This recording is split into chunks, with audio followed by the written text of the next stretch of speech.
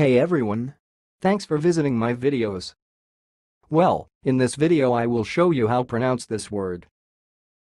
Let's get right to the it. Master.